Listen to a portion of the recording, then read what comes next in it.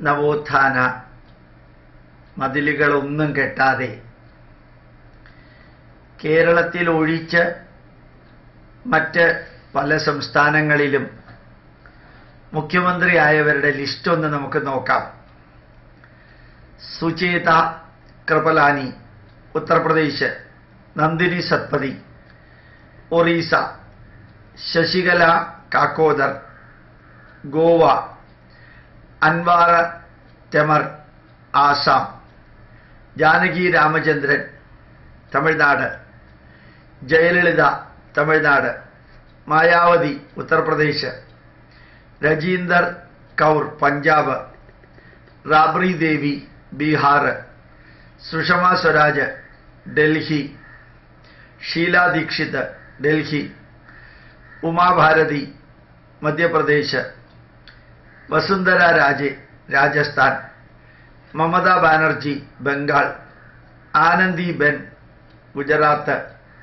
മെഹബൂബ മുഫ്തി കാശ്മീർ. മേൽപ്പറഞ്ഞ പതിനാറ് പേരും ഒരു നവോത്ഥാന മതിലുമില്ലാതെ ഇന്ത്യയുടെ ജനാധിപത്യ മുഖ്യമന്ത്രിമാരായി തെരഞ്ഞെടുത്ത വനിതകളാണ്. ഇവരുടെ പട്ടികയിൽ ഇടം പിടിക്കേണ്ടിയിരുന്ന മലയാളികളായിരുന്നു ചിത്രത്തിൽ കാണുന്ന രണ്ടു പേര്. കെ ആർ ഗൗരിയമ്മയും സുശീല ഗോപാലനും. ഇവർ കേരളത്തിലെ മുഖ്യമന്ത്രിമാരാകേണ്ടിയിരുന്ന സി പി എംകാരായിരുന്നു.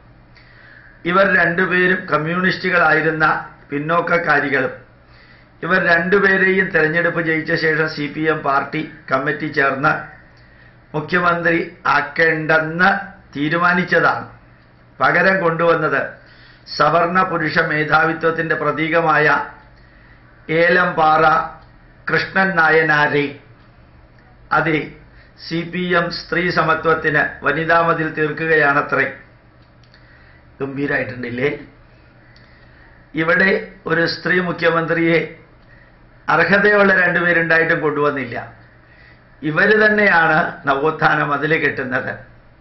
എന്തൊരു വൈദ്യുത്യാധിഷ്ഠിത അവസരവാദ അടവ് തട്ടിപ്പ് വെട്ടിപ്പ് നയല്ലേ?